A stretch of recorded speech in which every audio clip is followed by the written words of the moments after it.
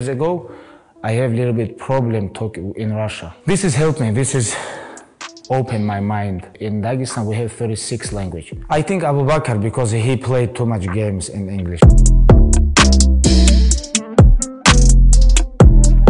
I told them, hey, you guys have to speak English. If you wanna be big star, if you wanna be star like uh, world star, not only in Russia, you have to learn English. This is very important because like billions people talk in English. You know, it's like maybe more than four billion people understand English. That's why you have to. You guys have to learn. You know, like some Omar, he goes, uh, he takes some classes. He talk like Usman, like Islam, Abu Bakr, like everybody. They try to learn English because they understand. I think Abu Bakr because he played too much games in English, you know, that's why he know a lot of words. like Islam talk good. Like uh, I think like Abu Bakr Islam they very close.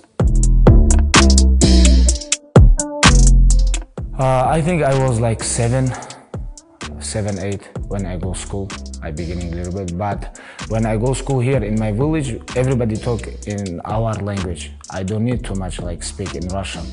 But when, when we moved to capital city, like 1999, uh, it was very hard for me to talk with uh, a lot of people because uh, in Dagestan we have 36 language.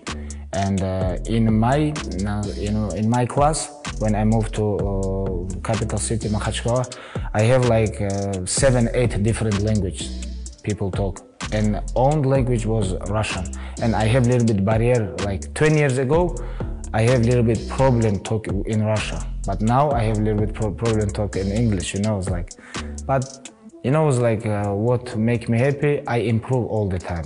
I improve like my English, my physical uh, like skills, my mental things. You know, it's like we're living 100 years and we learn 100 years. This has helped me. This is, you know, like. Um, open my mind, you know, like, uh, but but same time it's very hard, you know, it's very hard. Some like I lo- I like uh, giving interview in Russia because I can say everything what I feel, what I have in my mind. But in English always hard.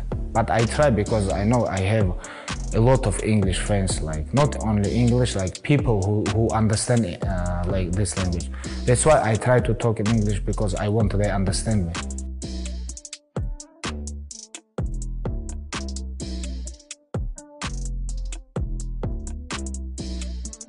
Rada, how are you? How is everything? Salam alaikum. Это что за бомба, мужик? Вы просто не знаете, ребята. How is everything? Everything is good? So proud. God bless you. Okay. Who's like under? No? Okay. Now we talk. Number one. How is everything? I'm uh, much love is needed in the world, so I listen to your words, and so I'm still trying to give love to the world.